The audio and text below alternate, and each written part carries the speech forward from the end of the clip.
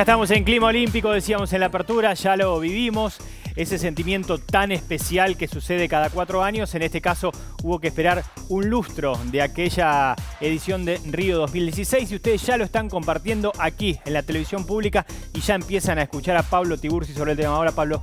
¿Qué tal, Ariel? Bueno, indudablemente se esperaba un buen resultado frente a Australia. Sin embargo, tenemos que hablar de este equipo australiano y no del argentino, porque fue durísimo, tuvo siete amonestados, sólido en lo físico, en el aspecto táctico ordenado.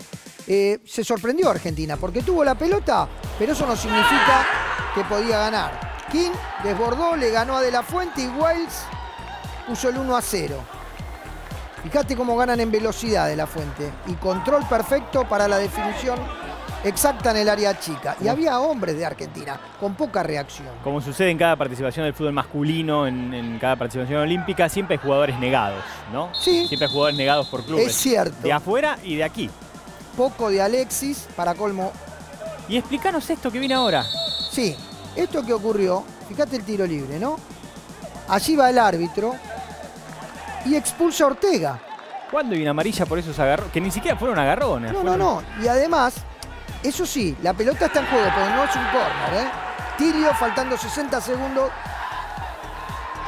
pone justamente el 2-0 cuando la Argentina solo tenía Valenzuela en cancha, que podía mostrar alguna creatividad, poco de Gais, pobre, que no le llegaba la pelota. La verdad, lo único bueno de todo esto es que España y Egipto empataron 0 a 0, que son del mismo grupo C.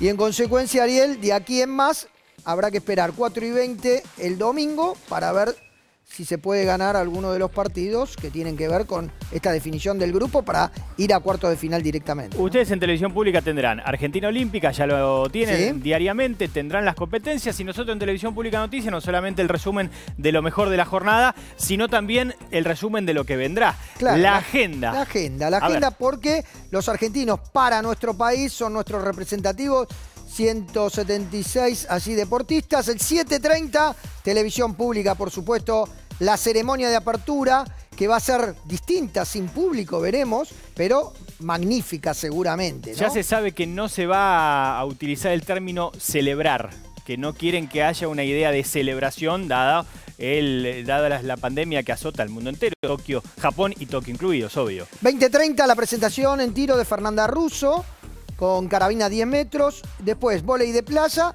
Asad Capogroso frente a Alison y Álvaro de Brasil. Además, tendremos 22-15 taekwondo masculino. Lucas Guzmán, el hombre de caballito, ¿eh? lo conocemos bien a Lucas. Así que estamos con él, con todo 22-40, handball masculino. Tremendo grupo, le Argentina-Francia, sí, el handball tiene el grupo de la muerte. 22-50 en remo, Mika Krashev y Evelyn Silvestro en doble school ligero. ¿eh? Muy bien, eh, día a día. Aquí la agenda, no solamente los mejores resultados, lo más interesante, sino lo que viene. Mañana día amplio. El plato fuerte, ¿no? Judo femenino, Paula Pareto.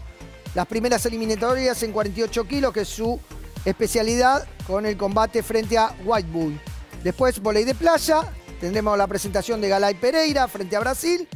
En el mismo horario, ciclismo en ruta, Eduardo Sepúlveda. Allí estará el hombre de San Juan peleando, ¿no? Por, un lugar. Paula Pareto, que nunca ha dejado de estar en consultorios en todo este tiempo. En todo qué, este tiempo. Qué, buen, qué buena historia de vida de Paula. Eh, con, decía, con toda la fuerza para luchar dentro del hospital, allí en el Gran Buenos Aires Norte, y después entrenarse como sea en la mesa de su casa. ¿no? Bárbaro, Pablo. Seguiremos, obviamente, día a día con los juegos. Ahora continúa día.